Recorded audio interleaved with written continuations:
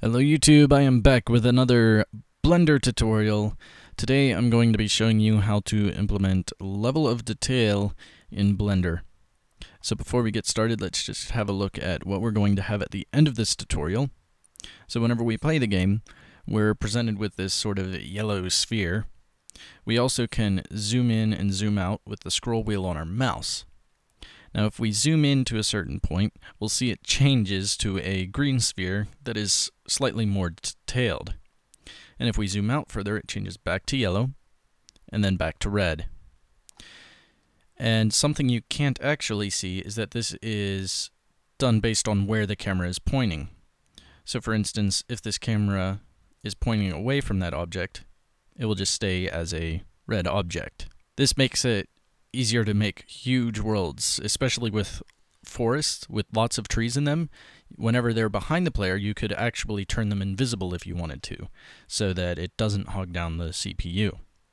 So, to start implementing this, we go up to File, New. We're then going to split our 3D window. This new window is going to be a text editor. We're going to do text open text block and you're then going to open the script that is in the description. It should be named lod.py. Stretch up the bottom window a little bit, switch to a logic editor.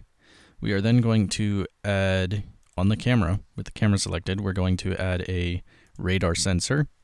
The angle is adjustable. We want to make it slightly bigger than the angle of the camera lens, so I'm going to make mine 50 and the distance is going to be whatever distance you want uh, to be the farthest whenever it switches to its lowest detail setting. So for this instance, I'm only going to do 10. You would probably want to do a little bit higher than that though. And everything in this script is based off of this distance setting. So if you want to change how far away it starts getting detailed, all you have to do is change this number right here. In the property field, we're going to type in LO D so that we can specify which objects we actually want to change. The last thing we need to do is we need to name our sensor LOD in all caps, just like that, and turn pulse mode on. We can then minimize the sensor and add a Python controller. And then this Python controller is going to run lod.py. So now we need to select our main object, in this case the cube, we're going to add the property LOD, and we're going to stretch out our properties menu over here. And in the mesh tab here, we need to name this something special. So you can see in the script here, there are three lines here. Detail 1 equals cube 1, detail 2 equals cube 2, and detail 3 equals cube 3. This is where we're telling the script what meshes we want to replace the object with. So for instance, whenever this cube is really close up, we are going to replace it with whatever detail 1 is. Whenever it's in the middle distance, we'll replace it with whatever cube 2 is. And whenever we're at the third or farthest distance, we will replace it with whatever cube 3 is. So for this example, the cube is going to be our lowest detail. So in the Mesh tab, we're going to name the mesh Cube 3.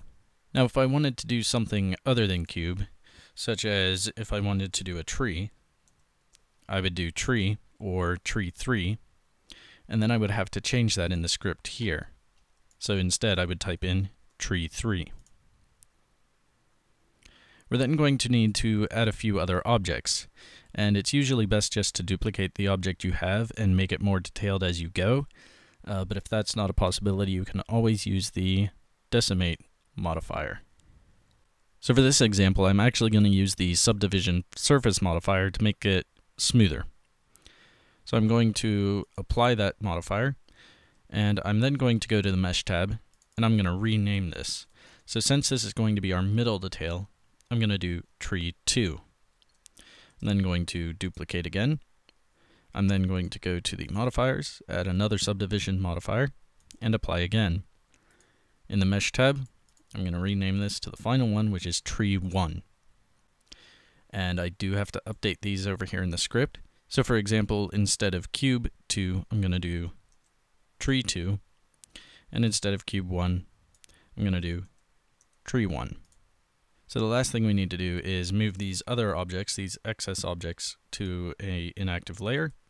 Select the cube, go to the Physics tab, switch from Blender Render to Blender Game so we get the game buttons, and just checkmark actor. As long as this is an actor, it should work. Actually, one problem yet is we need to change the axis in the radar sensor to the negative z-axis, which means it's going to be pointed away from the camera. So if we hit play, uh, nothing really happens, and I believe that's because the camera is currently too far away from the cube, so we can manually grab it in, hit play again, and we do see it snaps uh, to a new object right away. Now if we want to add the camera zoom so we can see what's going on in real time, we need to add two mouse sensors. The first one is going to be a wheel up with pulse mode on. The second one is going to be a wheel down with pulse mode on. We're then going to add two AND controllers and just wire those sensors into the controllers. And we're then going to add two motion actuators and wire them across. The first motion actuator is going to move on the z-axis by 1. The second one is going to move on the z-axis by negative 1. So if we hit play, we can now zoom out and zoom in. That's actually backwards. It should be 1 and then negative 1. And like I said before, if we want to change when it changes to a, between the different details, we can just change the distance here. So if I change this to 50, we play and we see now it's already a smooth object.